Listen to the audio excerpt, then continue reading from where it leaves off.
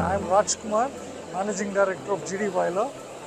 Uh, we have developed a new machine here and we have been taking part in ACMEE uh, since its inception. Uh, ACMEE has grown from a small show which was kept in the playgrounds or in open grounds today thanks to Chennai Trade Fair Center and the organization efficiency of uh, AIEMA. ACMEE has grown into a major international tra- trade fair I can say and we have a lot of potential customers who want to improve their productivity, who want to reduce manpower and take India to the next stage in global manufacturing.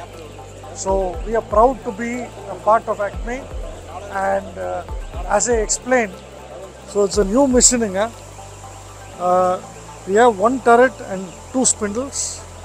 First operation can be done here. The spindle can come and catch the part, part parting operation. Job gets transferred this side. After that, all operations on the center hmm. can be done simultaneously.